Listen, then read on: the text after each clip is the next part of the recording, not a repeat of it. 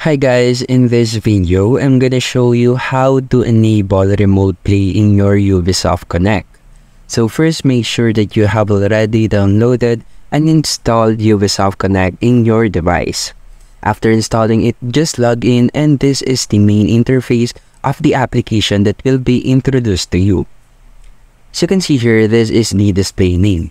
I want you to click the display name. And after clicking this, click these settings here. The settings will open this interface. There are several options to enable in the settings interface, but for this video, we are turning on or enabling remote play. As you can see here, I have already enabled my remote play. Now just check this, and that's it. That's how you can enable your remote play in your Ubisoft Connect application to help your games.